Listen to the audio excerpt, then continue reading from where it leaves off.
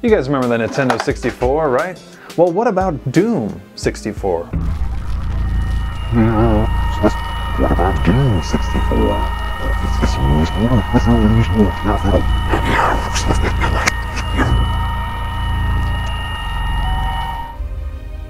Creepy. Well, anyway, what if I told you that now there's Brutal Doom 64? Let's check it out.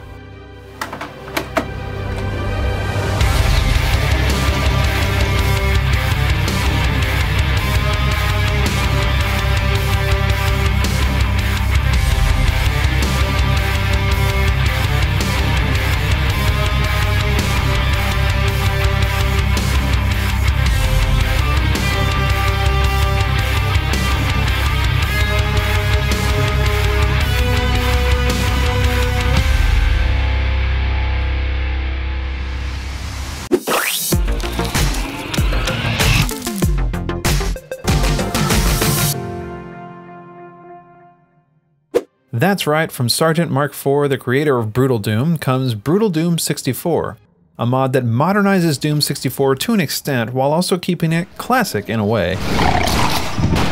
I think it's important to understand some of the history of Doom 64 to really understand what Brutal Doom 64 can bring to the table. Now, even back in the day, Doom 64 was a bit of an outcast. In the mid 90s, Doom was being ported everywhere. We're talking the PlayStation, the Sega Saturn, the 32X, even the Super Nintendo ran the freaking thing. And by the time it came to the N64 in 1997, the original PC release was almost four years old. And shooters didn't really look like Doom anymore, they looked more like Shadows of the Empire or Turok with full 3D worlds and characters. You could look around, jump, and climb, plus sprite based enemies were looking to be a thing of the past. As a result, Doom 64 got mediocre reviews when it released in 1997. Not only did recent console shooters impress more, but contemporary PC shooters like Dark Forces, Quake, or even Duke Nukem 3D were beating Doom in its own game. Somehow, though, the game has aged fairly gracefully in a lot of ways, and certainly more gracefully than a lot of early polygon based shooters, even if you play it on the N64. So, why is that? Well, this wasn't just a port. Actually, it wasn't a port at all, but a completely new game. And it wasn't a spin off either, but it also was never called Doom 3, even though it probably could have been. The developer, Midway, not id, built 32 all new levels, remade the enemy and weapon sprites in a darker style, and expanded the game engine to allow for more interesting lighting effects, including colored lighting, more complex level geometry, i.e., rooms on top of rooms, and more complex scripted events. Not to mention excellent high quality ambient style music tracks that replaced the series' stable of MIDI metal tracks. It's a little like if Quake and Doom had a baby, and the result is a darker, creepier, more horror oriented Doom, and one that's gotten plenty of well deserved post mortem praise and a bit of a cult following. Doom 64 was eventually reverse engineered and rebuilt to run in modern source ports on the PC, the most recent of which was Doom 64 EX, which actually required a ROM of the cartridge to function. But that's enough ancient history. Let's get to Brutal Doom 64 that was released just in time for Halloween 2016. Sergeant Mark IV followed up this release with a version 1B, then version 1C mere days later, fixing some of the more egregious bugs and adding a few features. So how is it, you may ask? Well, it's pretty awesome, but not quite in the way that I was expecting. If you're at all familiar with Brutal Doom, you know the astounding number of features added to the vanilla game. At this stage, with executions, additional weapons, hand grenades, friendly marines, it's fair to call the game a bit bloated. Brutal Doom 64, on the other hand, exercises a lot more restraint. Besides a few additions here and there, it's essentially the vanilla experience wrapped in a pretty package. There are no additional weapons, no reloads, no aiming down sights. It's all fairly classic Doom, amplifying what was so good about the original Doom 64, but also maybe retaining some of the crummier bits too. Upon booting up the mod, you're treated to the menu with a totally badass remake of the Doom 64 theme. The music is all remakes of the original game and sourced from a number of artists. The first map is this strange open air level that definitely was not in the original game. I guess it's a prelude that's kind of supposed to emulate the opening logo animation from the N64 game, but it's just not that much fun to play. Fortunately, you can just run right past everything and go straight to the exit to get things started the right way. Ah, this is how I remember Doom 64.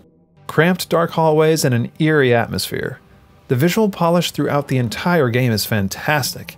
Using a lot of lighting flares as well as clever animated smoke sprites, the lighting has been elevated from interesting to downright beautiful in places. The faux volumetric lighting seems to fit the mood of Doom 64 perfectly.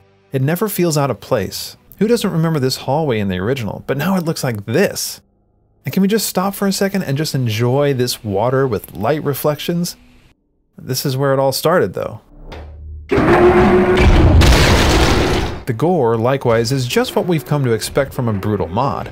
Blood amount is scalable with a switch if you're playing through GZ Doom, and gibs fly and stick to walls and ceilings appropriately.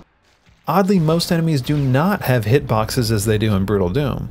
Instead, only the zombies and imps have hitboxes right now, and only for their heads, so no blowing off individual legs. Yet. Though I must say I've never had so much fun with a pistol in a Doom game.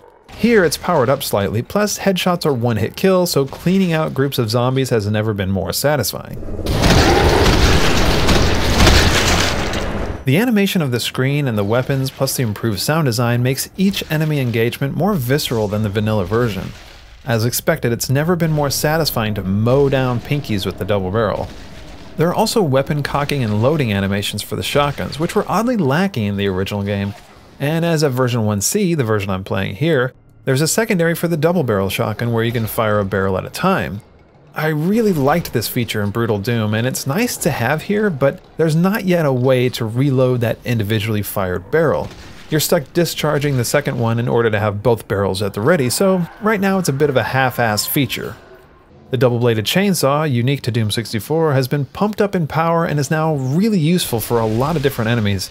And perhaps taking a note from Doom 2016, it now uses fuel.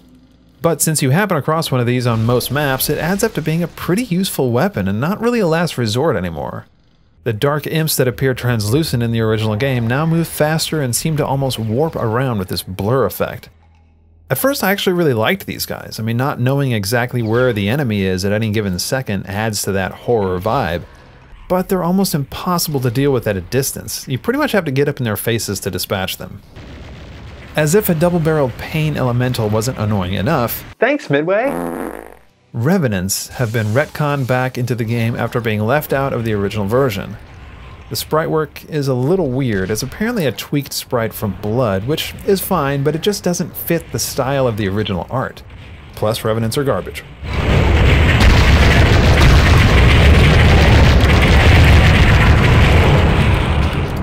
Thanks, Midway. Th th thanks, Midway. Midway? What about Doom 64?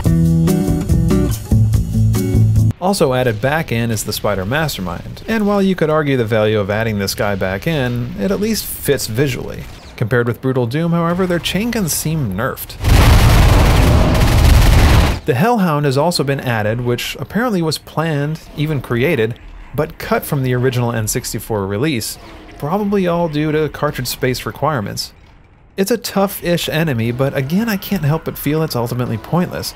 There have also been a handful of slight tweaks to the level designs that I think have thrown the game off balance in a few places. Doom 64 has always been tough, and the brutal version takes it up a few notches, so I went in on Bring It On difficulty. Throughout the game, I seem to swing wildly between being beaten to a pulp and having an excess of health and ammo. The Revenants don't help, the Arachnotrons, while not tough to take down, deal a ton of damage, and I'm pretty sure these rocket launching things have been amped up here.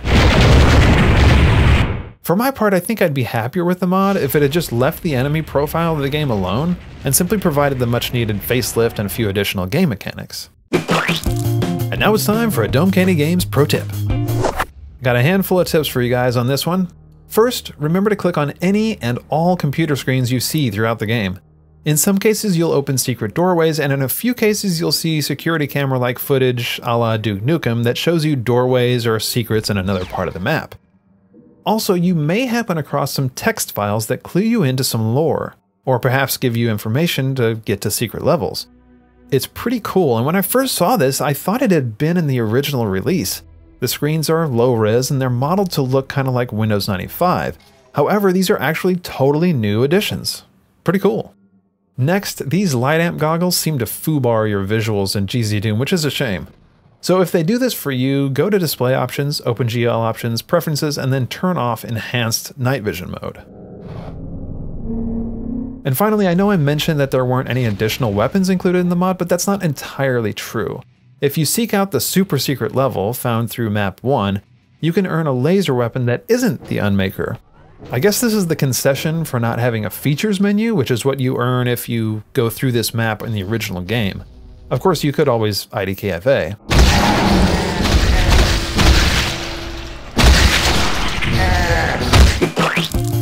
This has been a Dome Candy Games Pro Tip.